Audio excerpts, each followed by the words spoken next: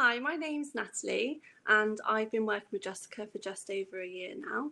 I have two salons and I'm just about to open a third. Just to give you an idea with regards to the issues that I was having in my business before I started working with Jessica.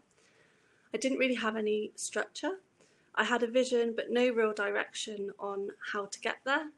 This reflected onto my teams who were screaming out for the structure without me realising it.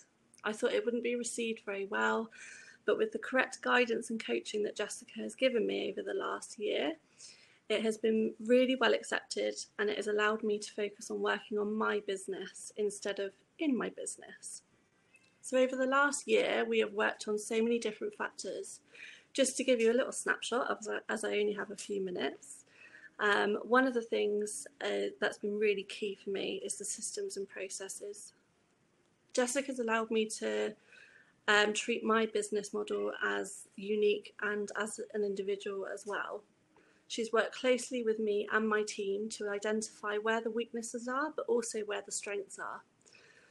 Now I have um, clear commission structure, um, a manual that's been implemented this year by all of the salons, and also a clear marketing plan as well. Numbers is also a key thing that I've been working on with Jessica. So I've been working on benchmarking, which Jessica's um, really helped me to present it in a way to my team that they understand. And also targets have been drawn up for each individual um, and also for each salon as well. So all the team members have a clear guide on the direction that they need to be going in, which is helping me move my salons in the right direction as well. I've also painfully been looking at the expenses.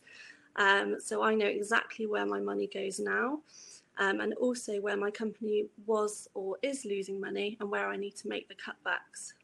Figures don't lie, as Jessica will tell you. Um, and it's been made clear to me from this where I need to make my cutbacks.